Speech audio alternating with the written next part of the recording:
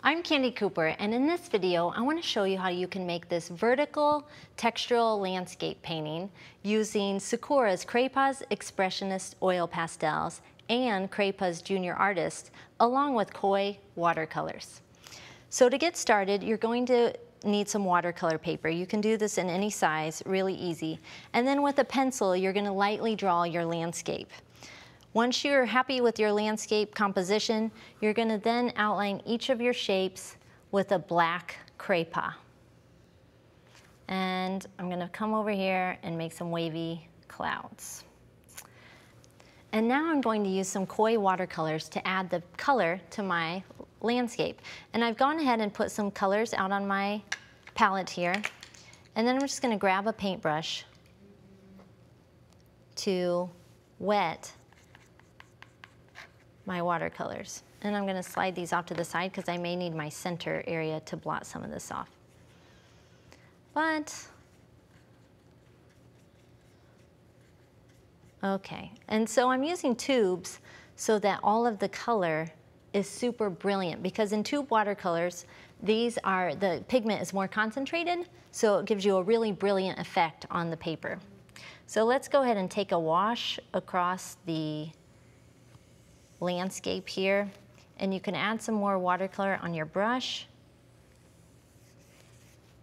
and add some more pigment. And for this section, I'm actually going to use a technique that uh, with saran wrap so that I can get some texture. And that's the neat thing about this piece is each section has a different household item worked into it to create texture on your drawing. So for this section, you want to leave the paint kind of wet. And, but you can, you can still add some darker areas here and there.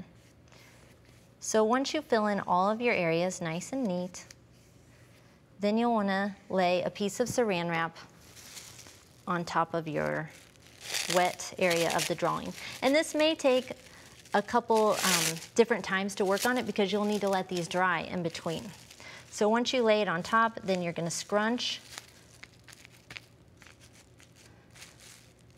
the saran wrap and when you remove it, you'll have an area that looks about like that. Now for the sun, I've switched over and I'm gonna use a sponge that's wet and I'm gonna mix it with a little bit of the koi yellow. And I'm gonna add a little bit more water.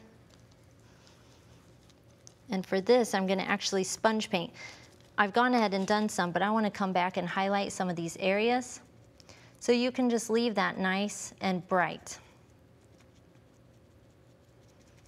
Now, for the, let's clean out our brush here. For the sky, we're gonna pick up some blue with our brush.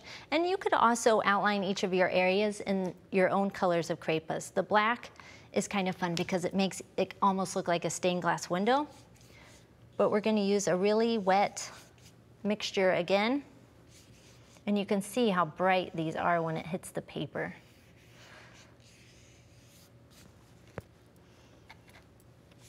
And I just want to give you some ideas. So I'm not actually going to finish the entire sky but the bottom section here, and it would be okay if your paint runs into each other because you have that watercolor resist happening there with the Cray-Pas. And then you're gonna sprinkle some salt on it. And that will create its own texture. But I love how the saran wrap looks when you pull it from the paper. And so now we have something like this. And the last thing I wanna show you let me just grab a clean brush altogether, is what happens with bubble wrap. I'm gonna grab a lighter color green, and you could of course blend your colors together. Before I forget, I wanna um, tell you too that if you don't use all of your watercolor, it's okay to leave it on the palette to dry because you can always re-wet it at a later time with your brush and start again. It's one of my favorite things about koi watercolors. And we're gonna leave this one a little bit wet too. And you can blot some of this paint away with bubble wrap to get a new texture that's almost like polka dots. So then when everything is filled in and colored in, you can grab your junior artist Cray-Pas or your expressionists. These are slightly larger and you can draw on top of your drawing and you can create more texture this way.